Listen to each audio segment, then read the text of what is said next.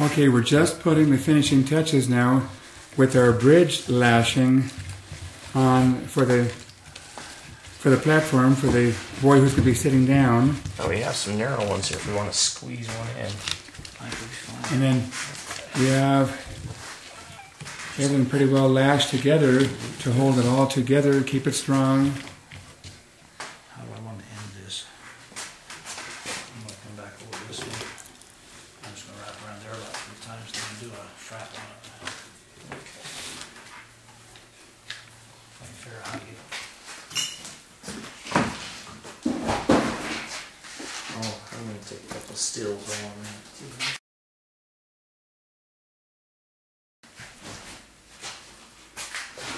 Okay, this is our uh, uh, prototype of a hand-lashed sled.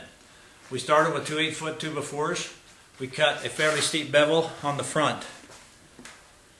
Then we drilled three 1-inch holes in about 16 inches from each end and in the middle of the board.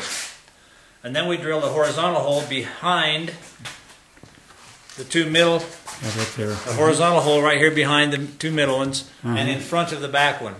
Uh-huh. Uh, the horizontal holes are 3 eighths of an inch. Uh-huh. We then cut our pieces to fit. We started with a, I think it's an 8 inch. no, it lashing.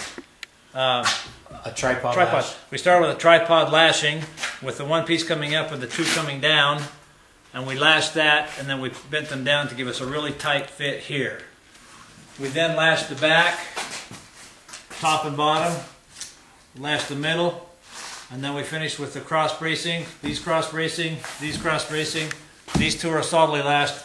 These uh, through the middle are a bridge lashing, so they're merely for, uh, for support to keep them from wiggling around too much. It's a very stable unit. The, wobbly, the table is kind of wobbly, but the Yeah, the table moves, but this this thing, I mean, as I move this around, it doesn't flex hardly at all anywhere. It's, it's a nice, good, stable sled.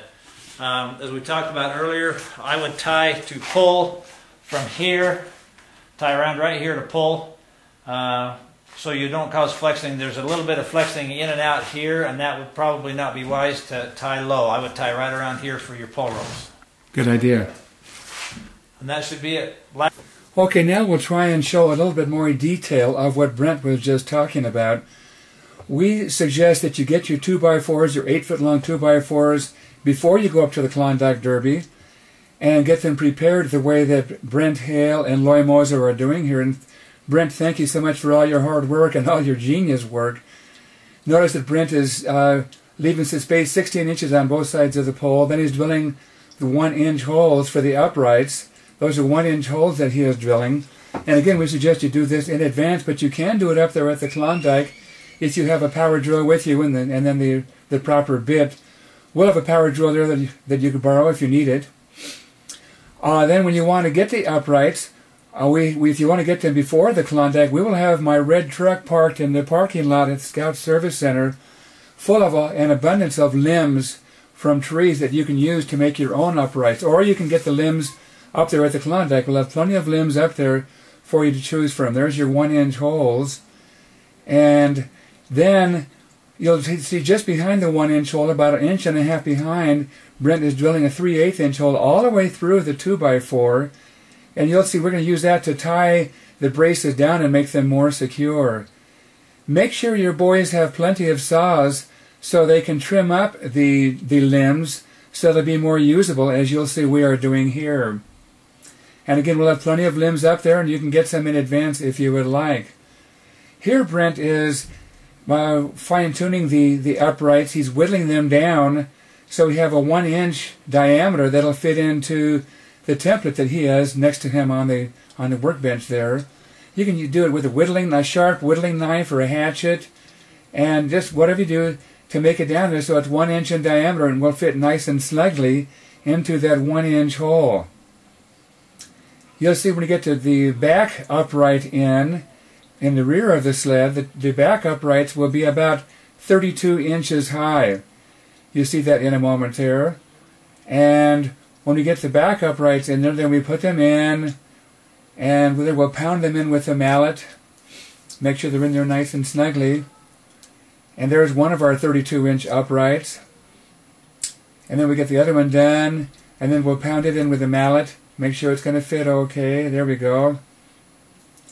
Then the middle upright we will not cut down until we finish up. That's one of the last things we do will be to cut down the middle upright. However, the front upright is about 8 inches high.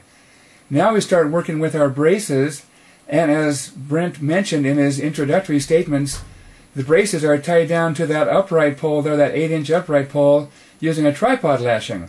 So there we have, because we have three poles that are all being lashed together, so a tripod lashing works really well. Then we use square lashings for the other attachments, and it comes together, and we're getting there. We're getting there. And let's see here. Uh, and again, all of this work here you'll be doing up at the up at the actual Klondike Derby. The boys will be doing this all. Then we're putting those the strings out there in front. Now that we've got those braces down, we're going to tie those strings with strings and make them nice and secure. Make them tight so they can really hold those braces together. Notice the crossbar that's lashed just behind the tripod lashing there. We have a crossbar there. To make, we have that lashed down with a square lashing. There we go. That's nice and tight. Good, good, good. And then we have behind the crossbar we have our X lashings, our X bar, to make sure everything's going to be nice and secure. And then, as you saw at the very beginning, behind that X bar, you see we have a bridge lashing to lash the poles together where the boys are going to be sitting, where the boy is going to be sitting, who's going to be pushed.